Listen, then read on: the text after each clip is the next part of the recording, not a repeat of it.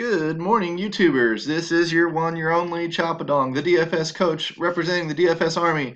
Uh, go to dfsarmy.com and take a look at our VIP subscriptions and memberships. Uh, this is a world where we no longer do this on our own. This is a groupthink world. This is fantasy sports. Long gone are the days where people are rostering just the dumbest possible combinations of players you could ever find. Most everybody's getting information these days. Most everybody is sharp. What you need is you need advanced tools, advanced strategy, stuff like I'm going to walk through here with one of our uh, newer members. And he asked me yesterday in direct message inside Slack to kind of talk about do I rank players by tier or uh, price or how do I kind of go about categorizing players and shortening my list? And I said you know what? That's a great topic for a video. Stay tuned. I'll make a quick video for you and we'll talk a little bit about how to put those lineups together. Um, for the newer players this is something we talk about a lot inside the army inside our slack channels. We go into more and more detail than I can possibly do in videos possibly do in uh, Twitter comments etc etc which I thank everybody for the feedback while I've got your attention, run down there, click like, click subscribe. Uh, do what you need to do to show me a little bit of love to keep these videos flowing. Let me know they work. Let me know they help. Um, because I do get a lot of feedback, but obviously, like everybody else, we want to grow our reach and we want to expand who we're trying to help and make the whole world a better place. Um, as we learn this DFS thing together. So what I'm going to do today is I do this on occasion. I'm going to show you a little bit of what I call bottom up building. I don't I used to go by tiers. I used to rank my top 3 quarterbacks and I used to maybe pick a guy that was high priced, middle priced, low priced, and all that did was serve to confuse me. The more experience I got, the more I realized this whole thing is a sliding scale um, between quarterbacks, running backs, wide receivers, tight ends, all that stuff. It's a big sliding scale. you you need to know where your value is on a certain slate. You need to know typically where your value is within positions, and then you need to use that accordingly. And the main thing we're going to do is we're going to start watching this average player, uh, average salary per player as we build lineups. But before we do any of that, I mean, well, I guess I should say typically uh, running backs are very important. What i do they're, they're a consistent source of points. You can pay up and buy a higher and higher floor and in some cases buy two touchdown potential big yardage potential things that are really going to put you over the top. Like everything there is a cap at which i just don't feel comfortable spending anymore because i don't feel the guy can really bring a ton of value. He has to have a great day to bring me the amount of points I'm paying for. And if he's in a tougher matchup, maybe he's his chances of that have really slimmed down.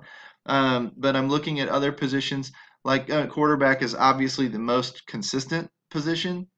Therefore, we look for favorable conditions and we look for basically a way to save money. People that pay up for Tom Brady, great. If it's a luxury, if you've got the money because you found the value elsewhere in the slate, pay up for him. But I'm going to tell you most weeks, not the last two, but most weeks, you're going to find that guys like DeShone Kizer and guys like um, uh, Kirk Cousins last week have just as good a chance to bring you value. Did they outscore Tom Brady? No. But what they did was they were so cheap or they were cheap enough they allowed you to pay up in other spots. So again sliding scale. Some positions are worth more than others and that's called position scarcity. Some positions there are only two or three good options in there. We need to find those positions and we need to focus on those. We need to find those players and focus on those spots. The um, wide receiver, very volatile position. You can pay up at the top for some consistency, but you can't often afford to do so. You oftentimes are taking at least one and maybe two very low priced wide receivers, and you're going to get what you pay for.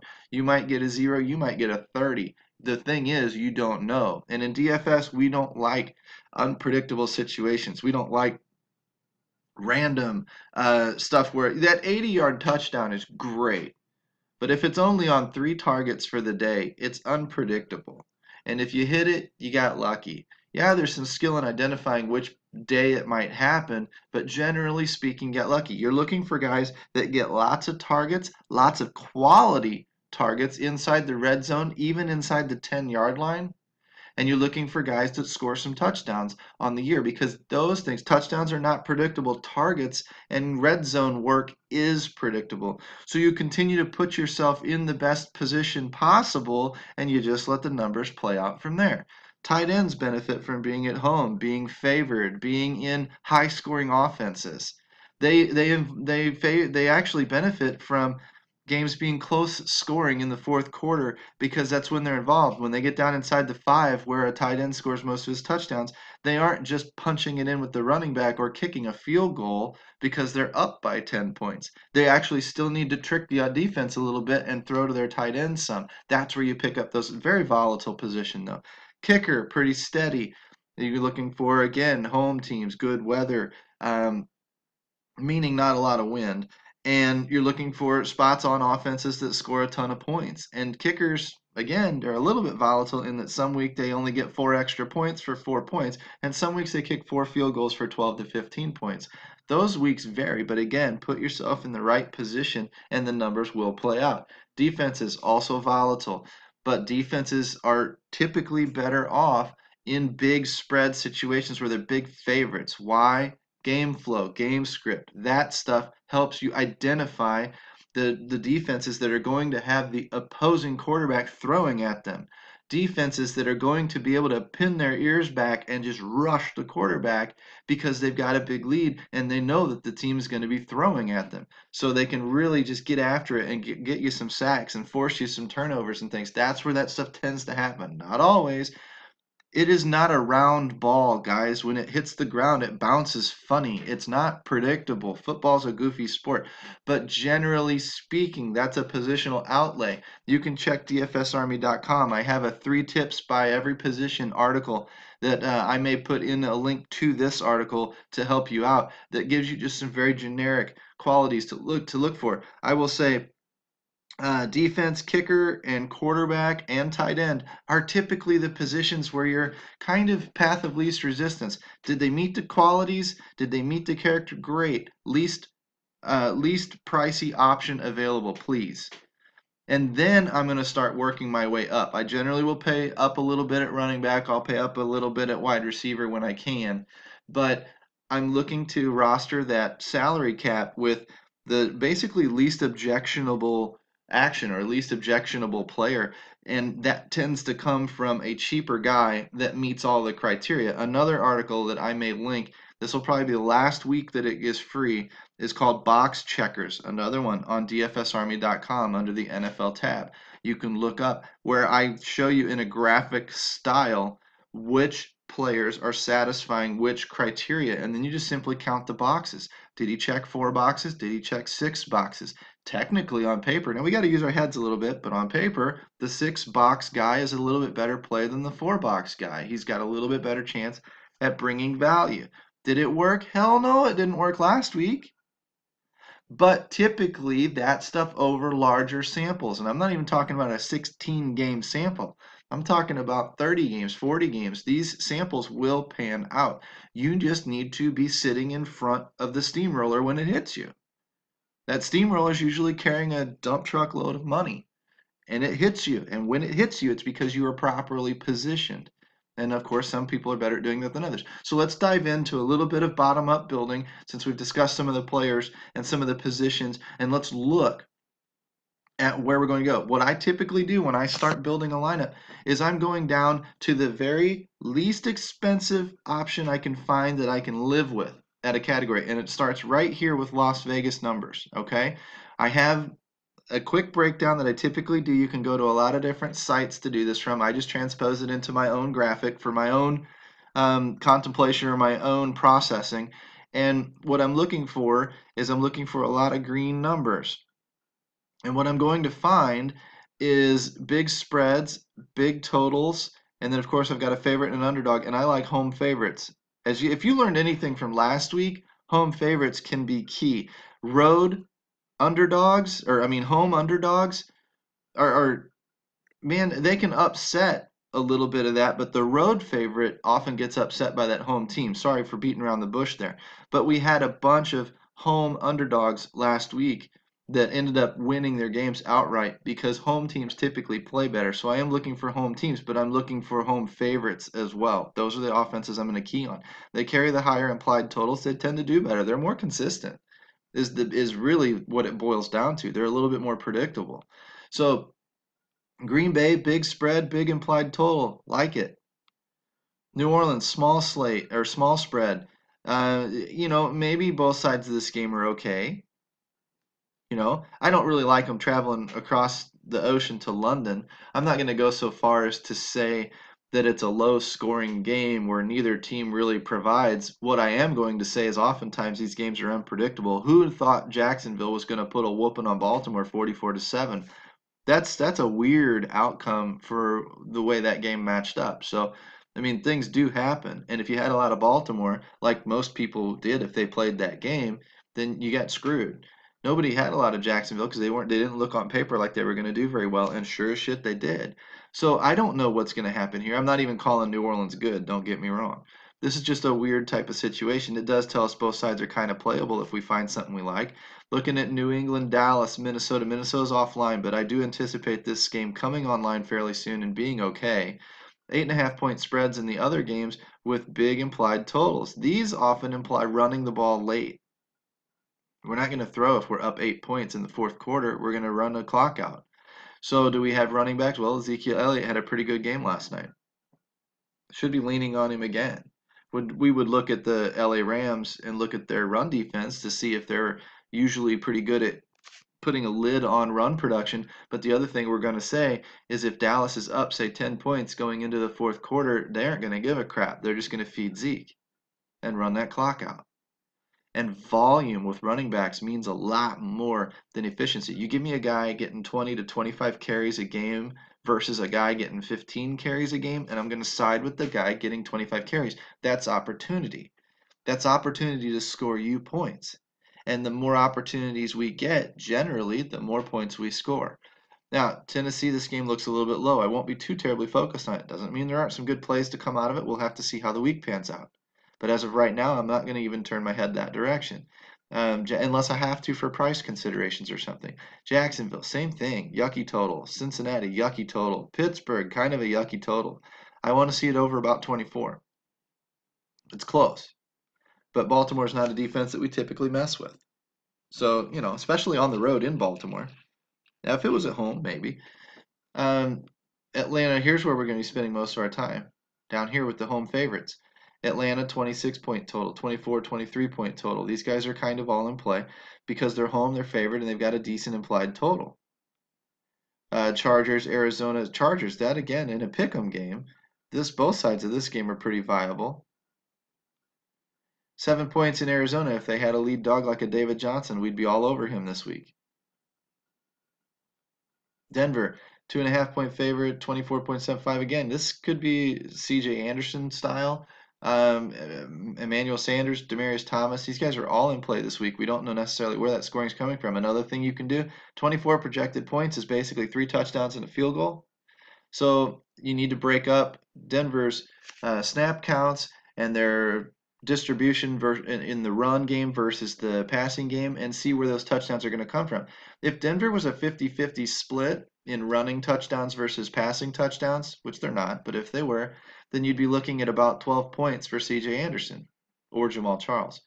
And you'd see that CJ Anderson gets two carries per Jamaal Charles's one. So that would be about eight points for CJ Anderson versus four for Jamaal Charles on the scoreboard. These are generic ways to break this down and center where that production is going to come from. If they were three fourths of the time a passing team, you would say, well, three fourths of 24, you know, is, you know, what, 18? Therefore, there's going to be at least two touchdowns through the air in this game. Well, if Emmanuel Sanders gets one and a half times the touchdowns that Demaryius Thomas does, then he might get the two touchdowns. They might get one each. I don't know, but I would lean Demaryius Thomas. There are ways with numbers to break those down and find where that production is centered based on who's targeted in the red zone, who's targeted more often, who's generally scoring the touchdowns and things like that. Um, that's the kind of stuff that you really dive deep into to figure out. I don't do that. I'm more of a superficial guy. I know how to do that. I just don't. I get I get almost all the way there most weeks just by doing this hitting the superficial surface stuff. Seattle looks like to be in a great spot. Great spot. If that uh, Carson, Chris Carson kid is for real and is going to get all the workload, he's in a hell of a spot versus Indianapolis. So is the Seattle defense. Remember I said big spreads? Big spreads for defenses at home. Yeah, Dallas is in play this week. Um, Atlanta's in play this week. Atlanta got priced up accordingly. So now that we kind of have a couple of targets here that we're looking for, and on the Monday night game, of course, KC, Kareem Hunt should be leaned on once again. The kid has been hitting home run after home run. Take those home runs out, and you know he's an average running back, but man, give him those home runs. You could see why he's priced up there with Le'Veon Bell and whatnot. But anyway, uh, four touchdowns scheduled to be scored in that game. Alex Smith probably get a couple. Um, Kareem Hunt might get one or two. I mean, who knows? But that's generally the way that's going to go. And of course, their defense is in play. So, brief rundown. Let's dive into the quarterbacks. Let's go find our home favorites as low as we can go. Um, immediately, I'm, Brady's going to be expensive. Uh, Rodgers is going to be expensive. Dak Prescott probably not. I don't know if I can do Case Keenum. Uh, I tend to do home teams, home favorites. Matt Ryan is going to be expensive. Jameis Winston, eh, not quite as high a total here as Dak. Um, uh, Chargers, Philip Rivers, again, not quite as high as total. Carson Palmer, maybe. It's a little bit cheaper. Siemian's a little bit cheaper, maybe. Russell Wilson's at home. I kind of, on this list, I'm automatically looking at Dak and maybe Jameis Winston or whatever. So let's check their prices and go find the cheaper one. There's Dak. There's Jameis. So let's punch Jameis Winston in cheapest we could live with that satisfies a few of the criteria. Running backs, big spreads, preferably at home. Grind that clock out late. Uh, Gillislee, uh, Ty Montgomery, if we were playing that slate, I think that the one I called up to the main slate. Um, Ezekiel Elliott again. Devonta Freeman, kind of in a committee. Uh, nobody in Arizona that I trust. Uh, CJ Anderson, Carson, pick two. We run down this list at running back. Oh, Dalvin Cook. That's an interesting one. In Minnesota, you know, hopefully at home, hopefully they're favored. Dalvin Cook's down there. There's CJ. There's Carson. So let's do let's do the old Car- Chris Carson and CJ Anderson bit. Okay, now again, this is just the first run through.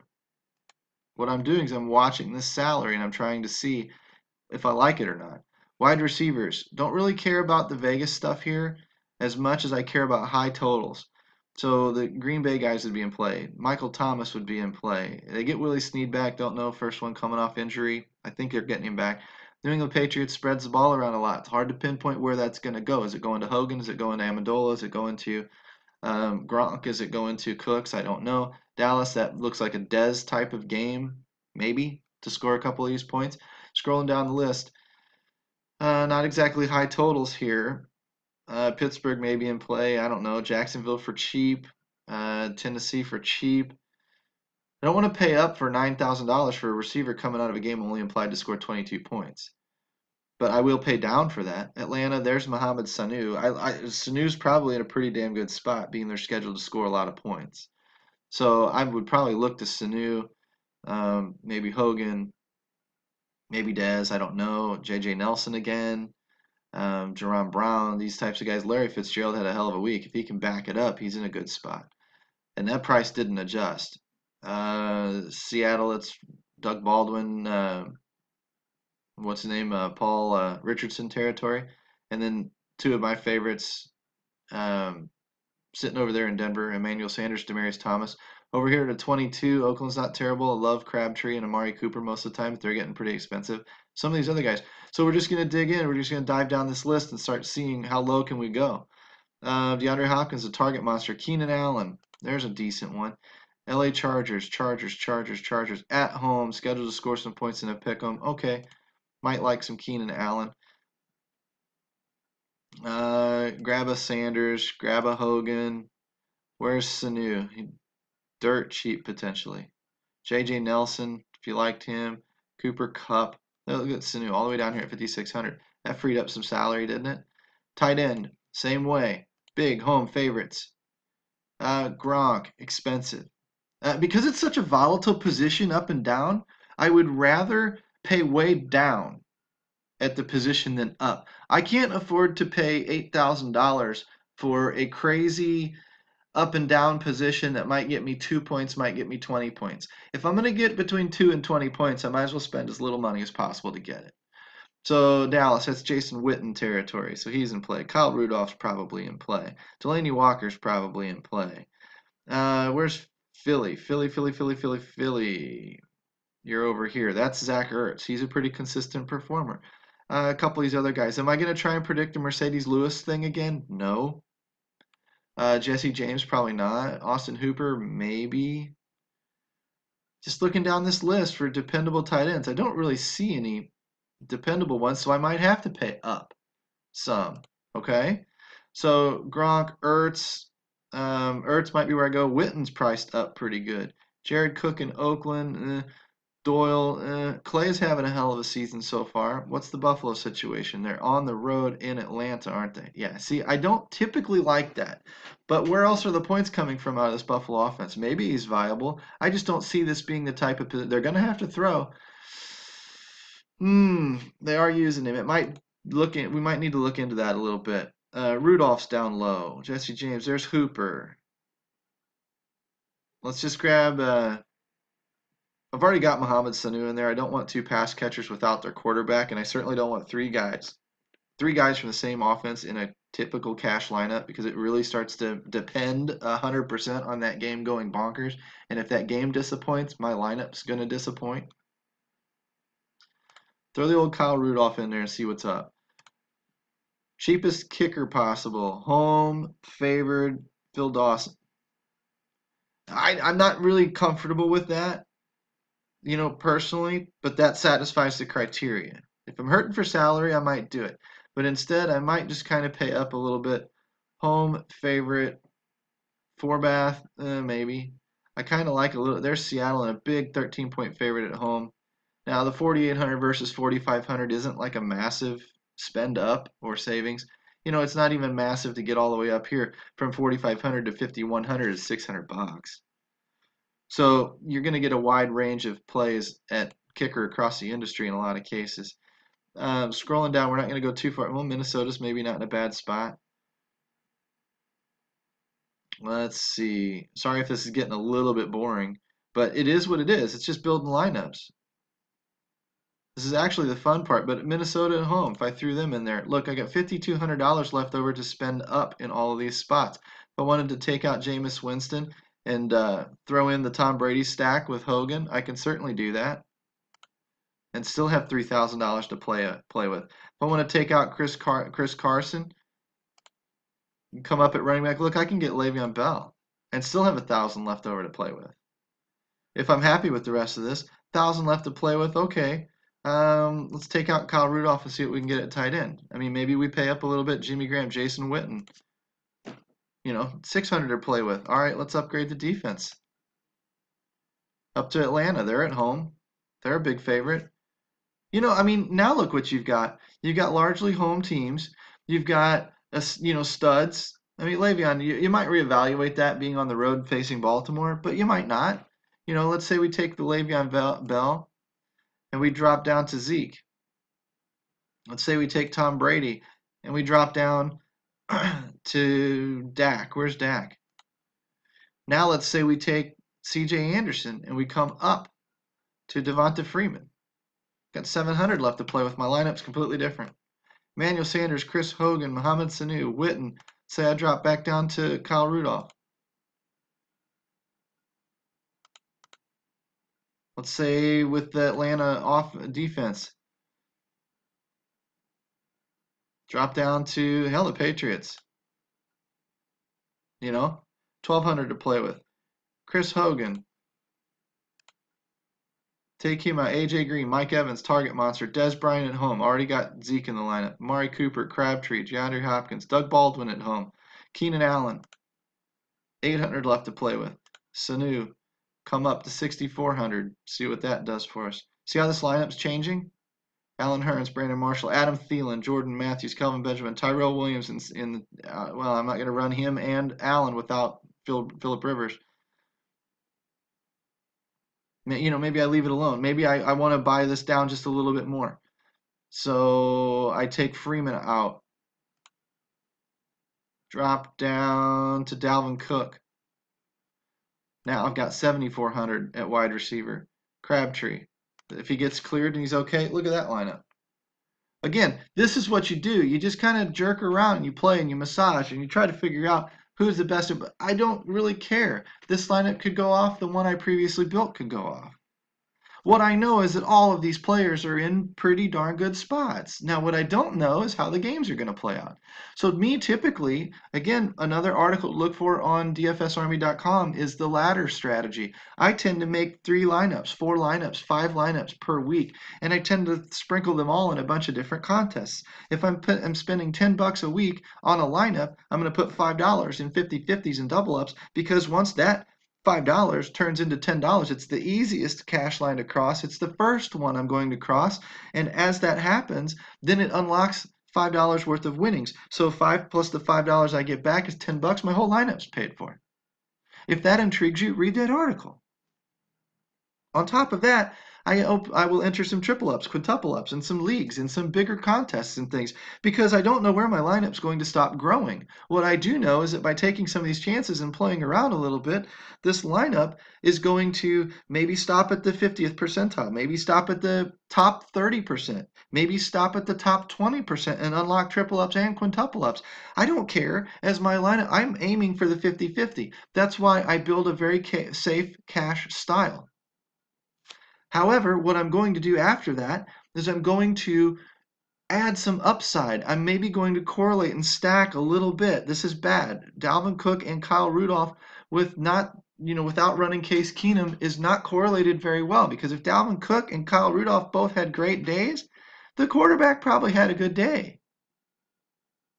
So I need to go back and review this a little bit. But the point is, I'm going to start taking some riskier plays. Like instead of Michael Crabtree, Let's say I wanted to infuse a little bit of risk and took Amari Cooper instead. I need another hundred bucks. Where am I going to go get that? Well, let's say I take Zeke out and I drop to Devonta Freeman, not Devonta. Well, what the hell? LeSean McCoy, Todd Gurley, Gurley. Okay. He's been all right lately. Now, again, he might not meet all the criteria, so that might be a little risky but it might pan out. And that might not only get me past my cash lines, but that might get me into my 100 man leagues because nobody else is taking Todd Gurley. If he has another day like he had last Thursday night, then I'm going to cruise up in the money on those leaderboards and I'd be fine with it. This is where we start getting blurred between GPP and cash and stuff like that. And you guys need to read that article. You need to become members in the DFS Army to sort through all this stuff. I don't have enough time in a day to sit here on YouTube all day long and talk to you about this stuff. Nobody does. You need to learn these things to get better at DFS. You need to subscribe to the DFS Army and become a VIP so we can talk about this stuff because this may have confused you more than it helped you. But the more we talk about it, the more it starts to make sense. You look at the, the Vegas lines, you target your offenses, you look inside those offenses at who's getting the production, and then you look at the cost on FanDuel, then you look inside the positions, and you buy the cheapest player you can that's in the best spot you possibly can. And then once you fill that lineup out, you start upgrading and you start reaching for studs and you start stacking people together and you start looking for ways to win these tournaments and contests. And then you layer your contests with a safe element of 50-50s and triple ups and things and then you add in the quintuple ups the leagues the tournaments for the upside in case your lineup goes absolutely bonkers. You're building for it to be safe but you're adding in on the week of the what if that's what wins you your money. You hold on to more money when you have a subpar week this way, and you capitalize on upside. If you don't believe me, go look on our Twitter feeds and go look inside the articles we're posting inside the Army. We had one of our coaches and contributors use that ladder system last week, turned 80 bucks into 600 bucks. Why? He layered his contests appropriately. You need to learn how to do these things. That's where these players have advantages on you. That's why you're redepositing and they're taking your money and taking their girl out to dinner. You're lucky they're not taking your girl out to dinner. Contemplate a VIP membership. I will give you a coupon code CHOP, C-H-O-P, for 20% off the DFS Army. You get access to all of our tools, our optimizer, all of our coaches, all of our help in Slack. I'm telling you, you won't find a more dedicated group of people.